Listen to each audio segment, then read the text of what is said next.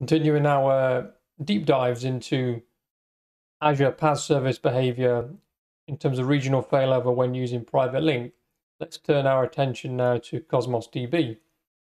In this diagram here, I've got my two Azure regions, West US and East US, and I've deployed a Cosmos database, which we know one of the main benefits of Cosmos is its ability to replicate data to many global endpoints a lot of customers get value in that in terms of the user performance with their applications. See here, I've got an Azure Cosmos DB MongoDB deployed over here, and I've configured it to replicate data to East US and West US. At the moment, I've got multi-region writes turned off, but I'll come back to that in a second. So let's just think about how this would operate if you weren't using private link in terms of regional failover. You can see at the moment my endpoint, which is adam-cosmos.mongo.cosmos.azure.com. That public endpoint, when I look up inside of public DNS, I see down here, I've got an initial CNAME redirecting to private link. We understand that because I'm using private link. But the point stands, even without private link being used here, ultimately what I get back is a CNAME pointing to a cluster here inside of West US, which returns a public IP if I'm coming from a non Azure DNS private zone linked VNet. So ultimately, if I've got an endpoint here that's accessing my Cosmos DB over the public endpoint without using private link, I will get back this public IP, which ultimately routes my traffic to my replica here in West US. And that's reflected in our portal here, which we see our write region is currently West US. So if I had a complete regional outage, let's add that to our diagram and explain what would happen in a public scenario. Okay, so just ignore the private link bits for the moment. Let's imagine that entire region goes down and my endpoints inside of the red region now, such as this other virtual machine with a different IP, they continue to want to use that data. So they continue to use the same string, which is this adam-cosmos.mongo.cosmos.azure.com string in their application. And if they were using public DNS resolution, not using private link, they would again go back out to public DNS and they would get back a different CNAME. And with Cosmos, we can simulate this uh, failover using the manual failover option here. So I'll do that now and I'll show you the change in public DNS.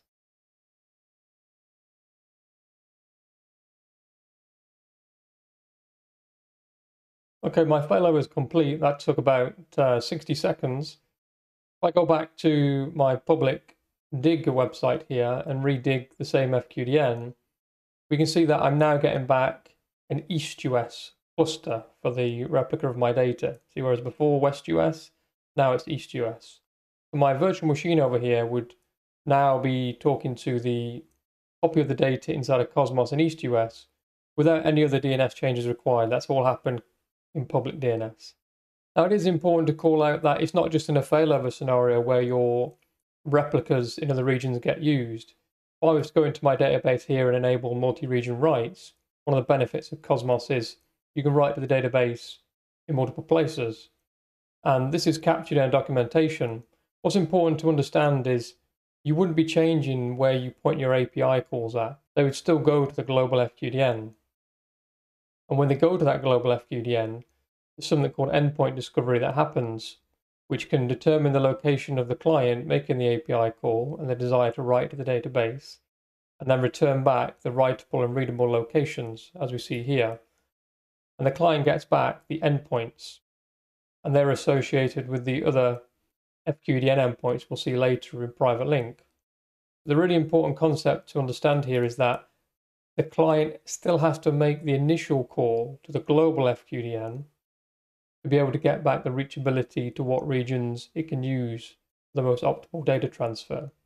When we think about using private link now, we have to consider that this initial global FQDN, which is currently mapped to a private endpoint in my primary region, is going to get used in a failover scenario.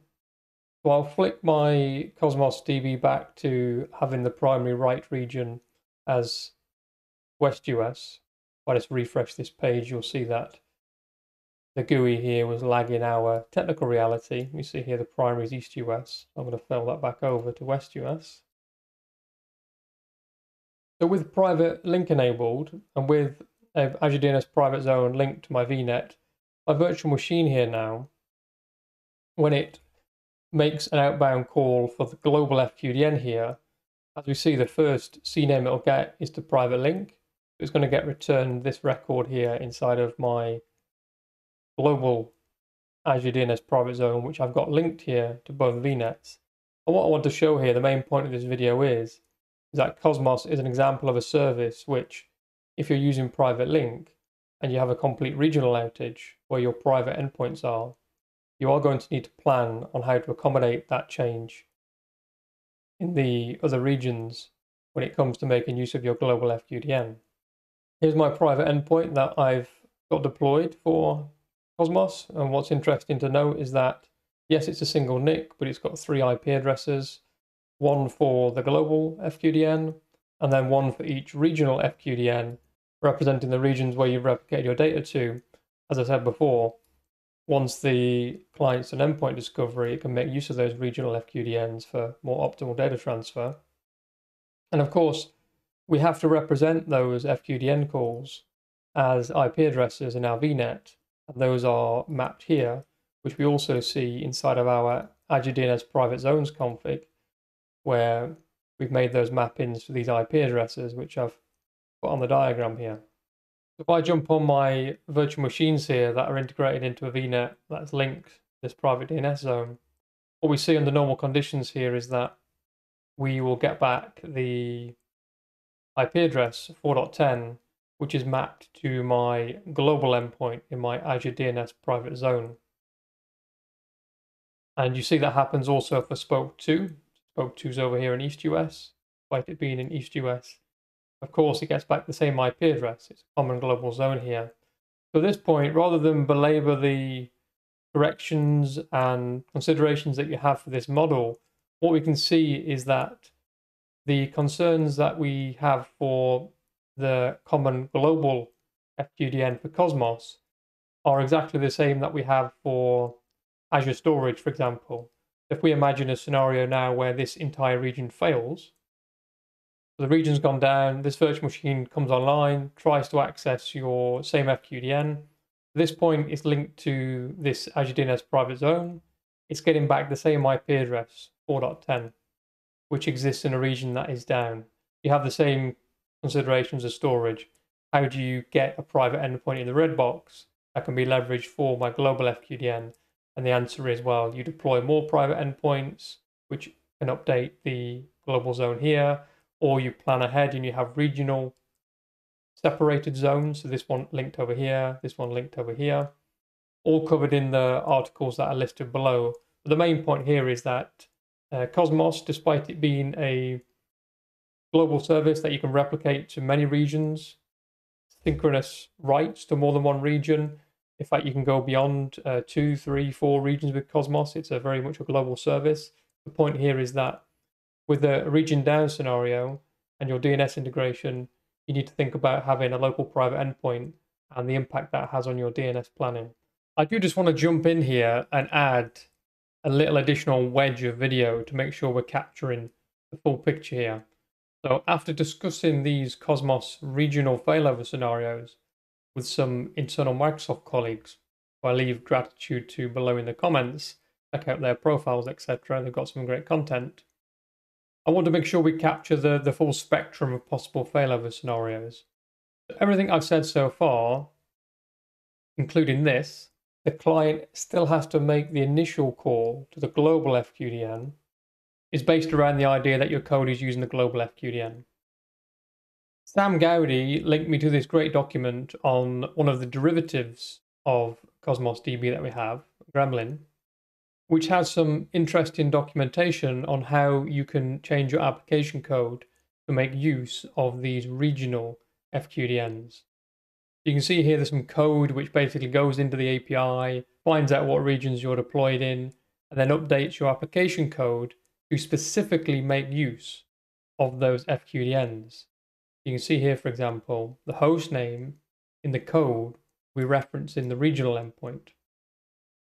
And what I want to highlight, which is why I made this sort of addendum, is that if you update your application code to make use of multiple regional endpoints and your application code tries those endpoints either in a round robin fashion or simultaneously or in a priority based fashion, there is a scenario here where Cosmos DB will work with a single private DNS zone. Let me update my diagram to explain that now. Okay, so I've made some subtle changes, but let's understand what I've done here. So on the private endpoint configuration here inside of WestUS, I've got a mapping of 4.10 on the private endpoint going to my global URI endpoint. And then 4.11 goes to a private endpoint for my WestUS endpoint within Cosmos. But then over in the red box, which is in my other region in East US, I've got a private endpoint deployed with an IP address inside of that VNet, should be 2.11 actually. And that private endpoint is mapped to specifically my East US FQDN within Cosmos. I've got two private endpoints here, regional private endpoints. Because I'm using that single zone, I can't have multiple A records pointing to the same FQDN.